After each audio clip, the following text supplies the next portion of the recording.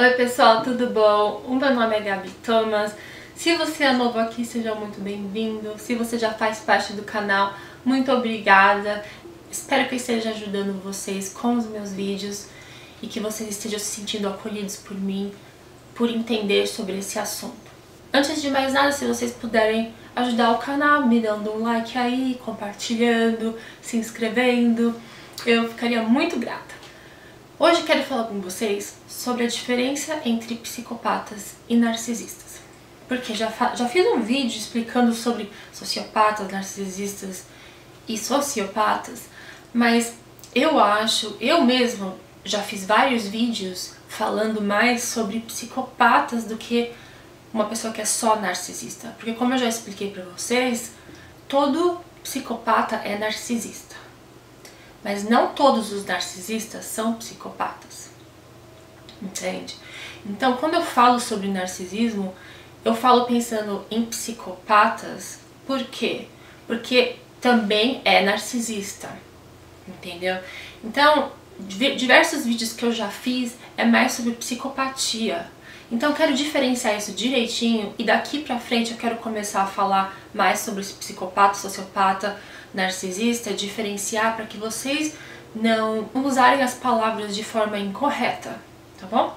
Presta atenção no, no tipo de suprimento que a pessoa precisa. Narcisistas são interessados por suprimento, só isso. Eles vivem procurando suprimento, eles vivem por isso. Então, narcisistas no trabalho são interessados em, interessados em suprimento, narcisistas no sexo são interessados em suprimento. Narcisistas é, em relações amorosas são interessados por suprimento, sabe? Médicos, narcisistas médicos são interessados por suprimento.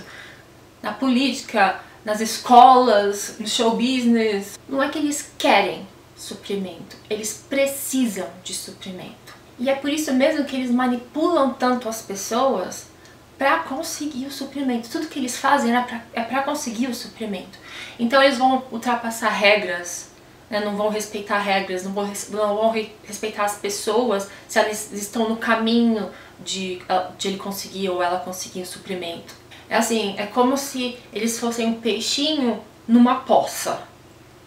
E eles o suprimento é a água, eles não podem de, deixar de ter água, certo? Porque eles precisam viver. Então, é como se eles, sabe, roubassem água dos outros para continuar com o suprimento. Ou então eles fizessem uma armadilha em volta da poça deles para que as pessoas, sabe, caem na armadilha e não peguem o suprimento deles. Eles fazem qualquer coisa pode machucar as pessoas, como a gente sabe, para conseguir suprimento. Pode fazer a pessoa de palhaço e, falar para a pessoa dançar, fazer a dança da chuva para conseguir o suprimento. Que for. O suprimento ajuda o, a, o narcisista a regular o ambiente interno deles. O que, que isso significa? Eles estão sempre é, procurando atenção, eles estão, são sempre inseguros a gente acha que narcisistas são seguros de si, são egoístas, mas tudo que eles fazem e, e agem é para conseguir suprimento pelo fato de eles não terem amor próprio, pelo fato de eles é, serem tão inseguros, eles precisam de outras pessoas para darem suprimento para eles. Então tem os suprimentos positivos, que seriam, né, oh, sabe, amor, admiração, aplausos, adoração, aprovação, afirmação, isso tudo são, são suprimentos positivos, certo? Que eles procuram, fazem, pra, esperam que as pessoas os aprovem, afirmem, tudo isso, né? Então eles querem, eles precisam disso, ou então eles precisam do suprimento negativo. Por exemplo, é, ser odiado Olha isso, gente. Ser odiado é uma forma de suprimento para um narcisista. Se ele sabe que ele está sendo odiado por alguém, ele adora, porque a pessoa está pensando nele.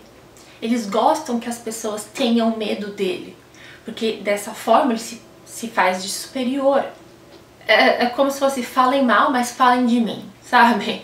Eles não importa, eles precisam se sentir superiores e precisam de pessoas para que eles se sintam superiores. Por isso que eles são codependentes. né? Eu fiz aquele vídeo sobre a, a semelhança entre codependência de narcisista e de empatas, vou colocar para vocês verem aí. Mas por isso que eles são codependentes, porque eles precisam dos outros para fornecerem suprimento. Eles não conseguem por eles mesmos. A única coisa que o narcisista teme, a única coisa que ele teme, ou ela teme, é ser ignorado. Eles não suportam serem ignorados, porque é o oposto de atenção, né? Ser ignorado. Eles te, morrem de medo que isso aconteça. E se você for pensar, é a mesma coisa que acontece com um bebê, um neném. Quando a, quando a gente nasce, a gente não quer amor, a gente não quer, a gente nem sabe o que é isso, o que é amor. A gente quer que as pessoas se interessem pela gente, a gente não quer ser ignorado. E isso já foi discutido, já foram feitas pesquisas, eu vou, vou colocar aqui agora, daqui a pouquinho, para vocês verem em seguida, é, uma, um vídeo curtinho sobre uma mãe que dá atenção pro neném, o filhinho dela, e a mesma mãe em seguida para de dar atenção. Veja como o bebê reage. Igual narcisista. Entende? Porque eles querem, eles precisam de atenção. E narcisistas são iguais, só que bebês hum, eles estão aprendendo ainda, isso não quer dizer que eles sejam narcisistas, né? Então deixa eu passar o videozinho para vocês verem agora.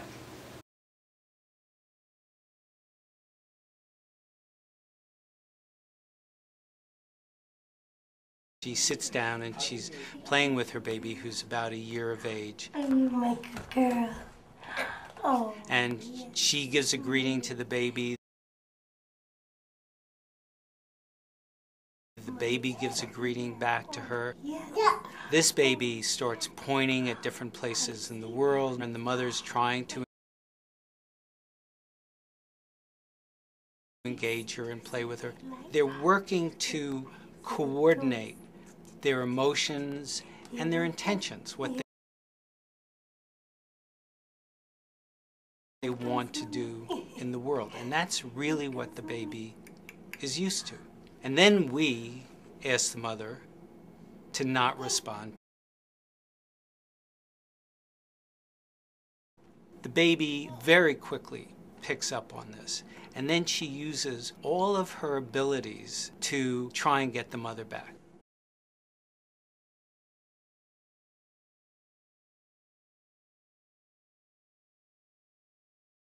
She smiles at the mother. She points because she's used to the mother looking where she points.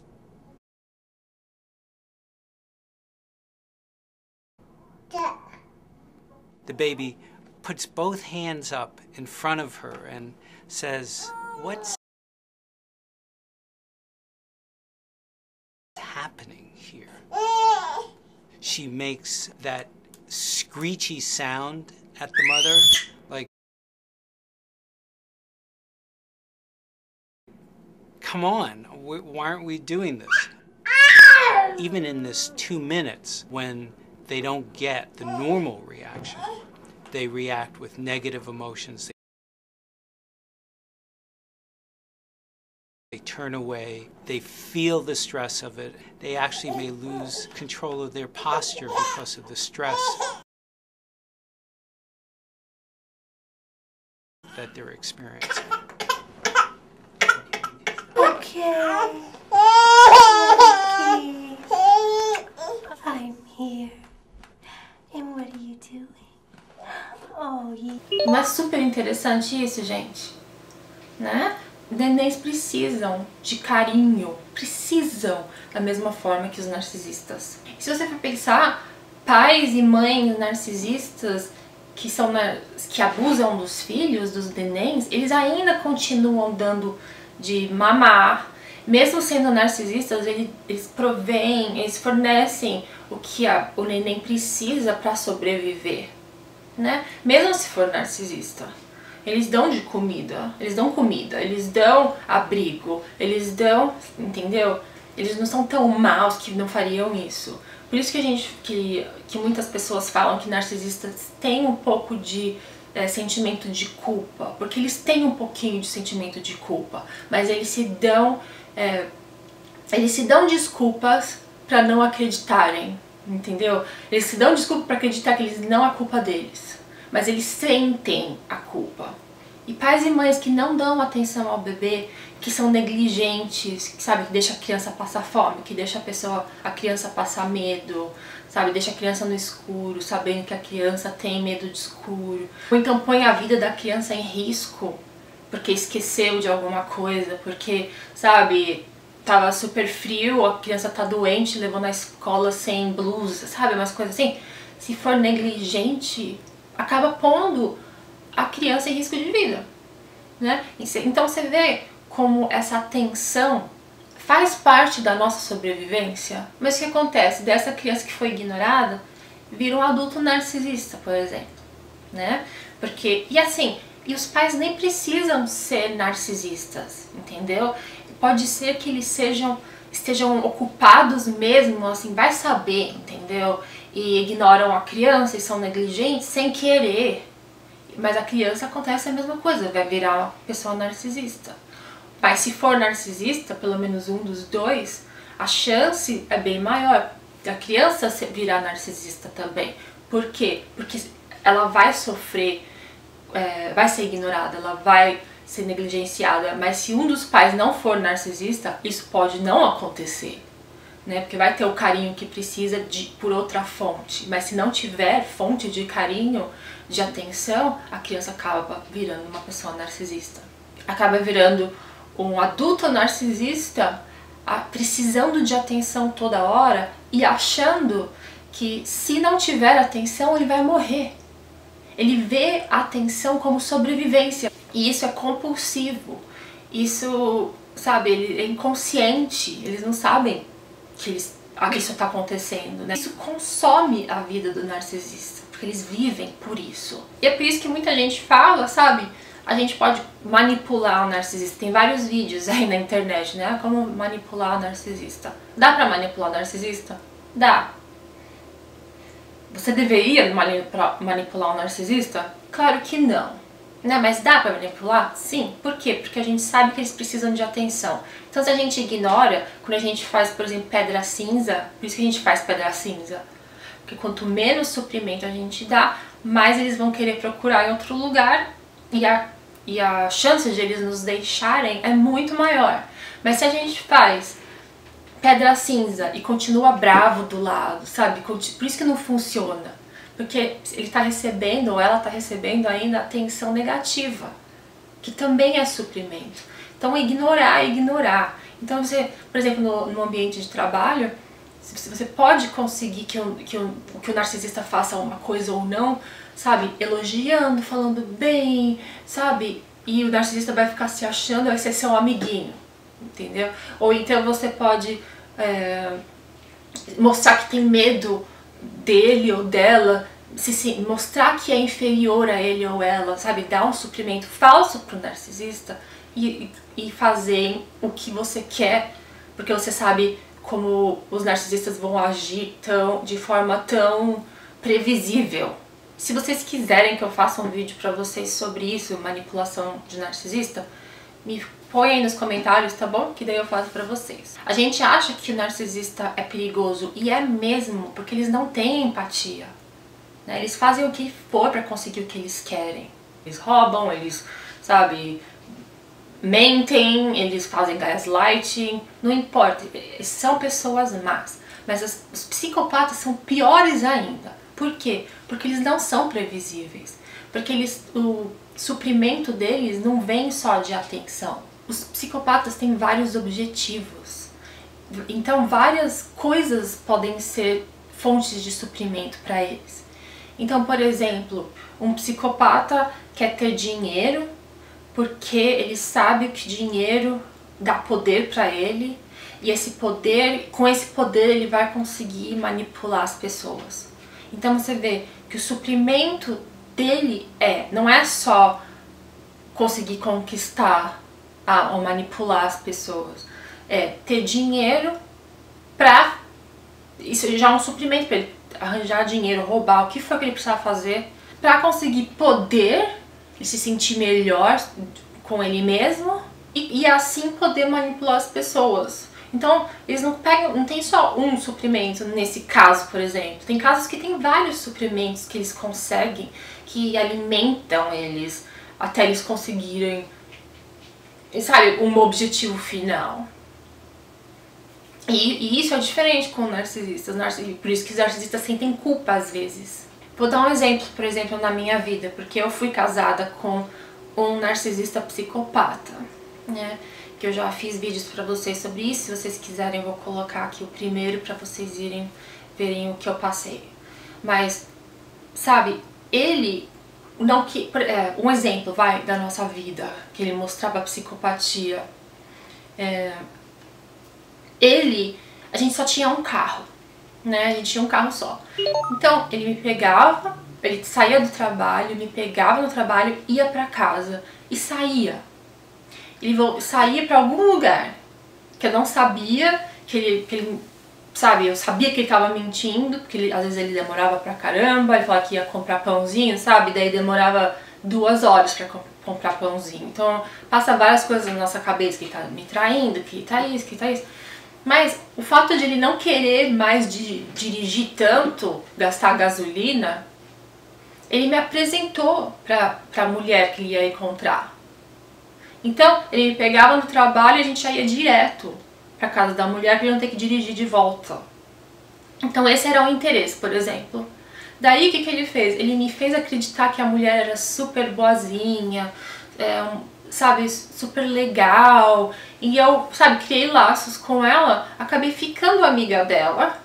O que é ótimo, por quê? Porque a gente podia ir toda hora pra casa dela para ele conseguir as drogas que ele comprava dela.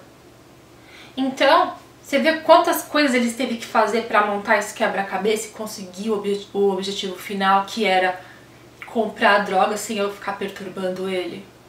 Então ele conseguiu me manipular, conseguiu não dirigir e gastar gasolina, conseguiu me fazer de idiota, porque depois ele me humilhava. Se não...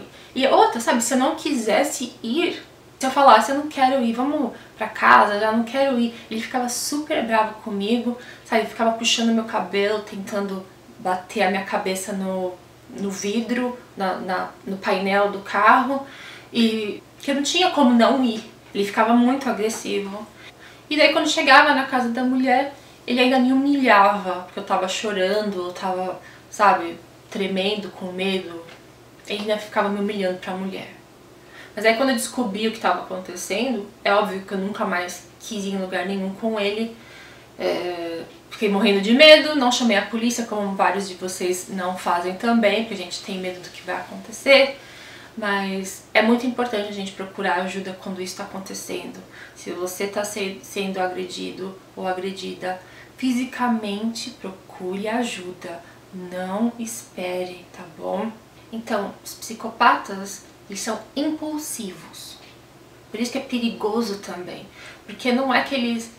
Como eles querem várias coisas, e se eles não conseguirem uma coisa, eles explodem. Sabe? Eles são impulsivos demais. Eles não respeitam autoridades, não respeitam as pessoas, sabe? Acima deles, não respeitam a lei, não respeitam. Eles querem ser o melhor de todos, senão eles vão fazer alguma coisa má para conseguir não aceitam. Eles vão conseguir de um jeito ou de outro. E o narcisista, o que, que é? O narcisista, ele não é tão impulsivo, né? Como um psicopata. O narcisista, ele quer atenção, mas ele também passa a perna nos outros, mas ele não é tão impulsivo, sabe? Ele é mais calculista. Por isso que eles acabam sendo agressivos em público. É como se ele fosse fosse o rei, o, o mundo animal, e ele fosse o rei, o leão, e todos os outros animaizinhos têm que fazer o que ele quer, senão ele vai e mata o outro, né?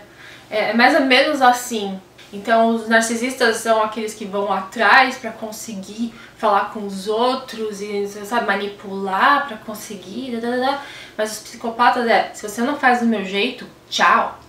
Eu não tenho remorso, não tenho, não sinto culpa, é muito fácil para mim, sabe, desligar o telefone e nunca mais falar com você. É muito fácil para mim ver você sofrer e se arrastar querendo voltar. É muito fácil para mim, eu gosto que você, de ver você fazendo isso.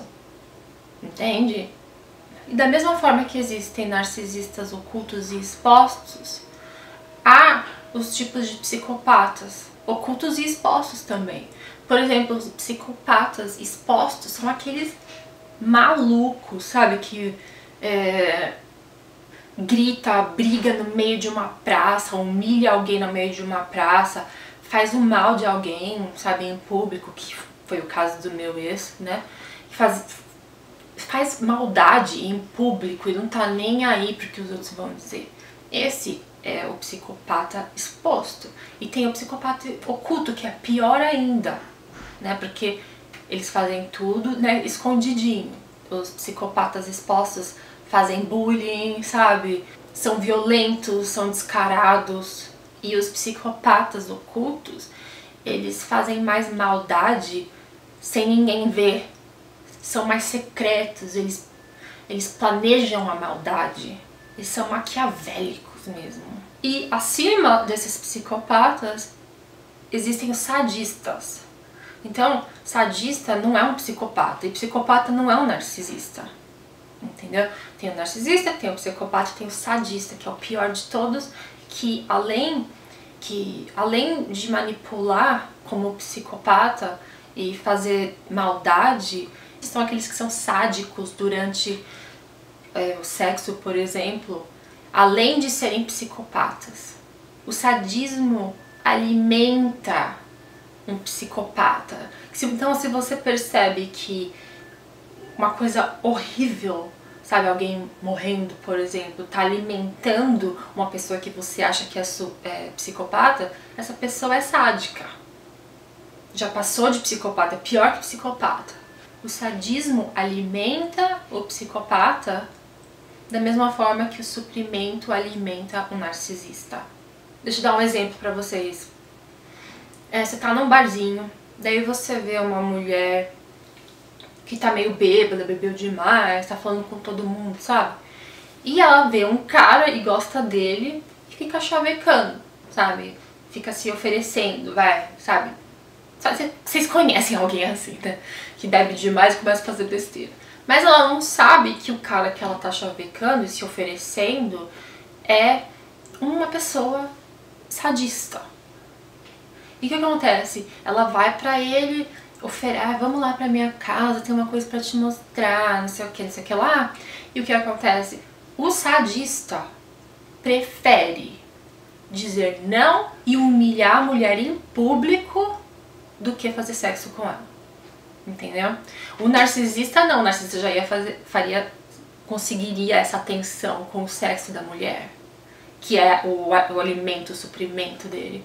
Agora, isso não é suficiente pro psicopata não tá interessado, o sadista não tá interessado no, no sexo, tá interessado em ver alguém sofrer mesmo, humilhar, fazer maldade.